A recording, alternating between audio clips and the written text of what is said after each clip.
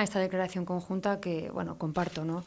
con Juanma que, va a mejorar las condiciones de vida de muchos navarros y de muchas navarras, especialmente de aquellos que viven en zonas rurales, porque vamos a aprovechar toda la potencialidad que tiene todas estas oficinas de correos para ponerlas al servicio de la ciudadanía navarra.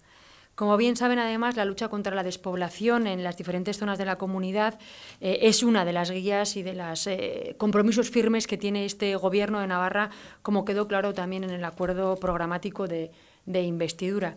Y aunque bueno, pues en la relación con la sociedad estatal Correos y Telégrafos es cierto que viene de lejos y ambas instituciones ya colaboramos en el programa de fomento al emprendimiento y a la innovación, con este programa, con el programa Impulso Emprende, por ejemplo, con el patrocinio de la Fundación Miguel Indurain, la firma de esta declaración conjunta pues va a estrechar esas relaciones y esa colaboración que, como digo, la ponemos al servicio de la ciudadanía navarra.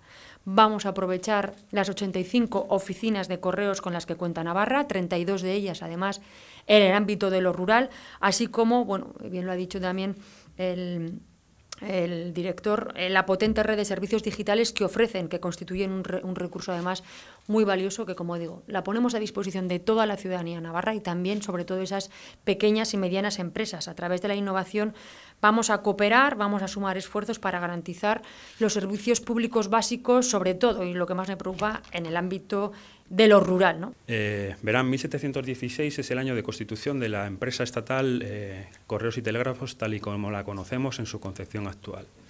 Eso significa que hace poquito, en el mes de julio, hemos cumplido 304 años de historia.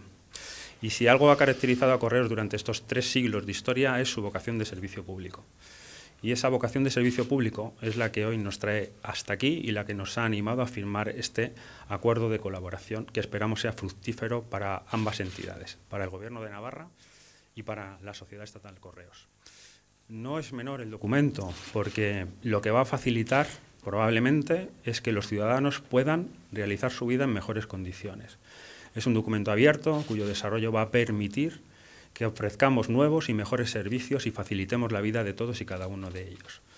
Lo que esperamos desde Correos es ser útiles tanto al Gobierno de Navarra como a toda la sociedad eh, navarra, a los ciudadanos y a las ciudadanas.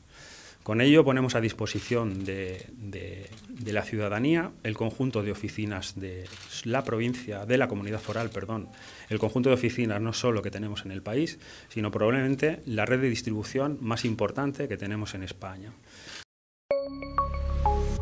Gobierno de Navarra. Nafarroako gobernua.